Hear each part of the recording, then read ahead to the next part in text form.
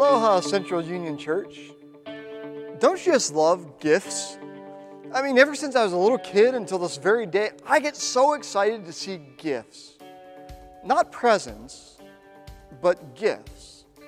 For example, every weekend, one of my favorite things of coming into the sanctuary and into the other worship venues early before the crowds come is seeing the gifts of a few that provide these beautiful floral arrangements every week for our blessing. Gifts. These are these things that we give to others. Sometimes they're material things, and other times they are the gifts and talents that God has given us to be shared with others.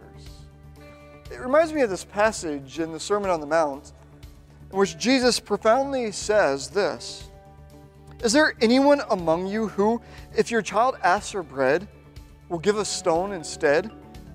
Or if the child asks for a fish, will give a snake? If you then, who are evil, know how to give good gifts to your children, how much more will your Father in heaven give good things to those who ask him?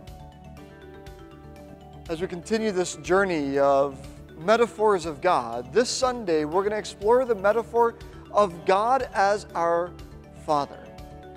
So often we have this image that sometimes is a positive image of God our Father and sometimes can be tough as this God that's overseeing us and, and putting us under his thumb. But instead, this weekend, we're going to explore the God who gives us gifts.